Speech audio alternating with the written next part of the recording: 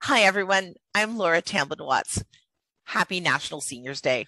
October 1st is the day that we stop and appreciate the incredible contributions that older Canadians have made to this country and to all of our lives.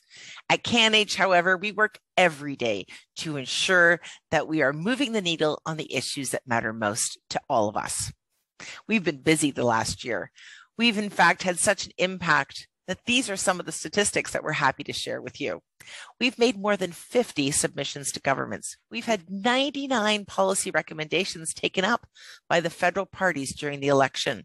Happy National Seniors Day. Don't forget to download our impact report and look out for great things that are happening this next year, including our dementia report, our report on vaccines being refreshed for 21 22 year, and also our great initiatives on banking to make sure that older adults are getting the best possible service and the least possible risk. Thanks, everyone. Happy National Seniors Day.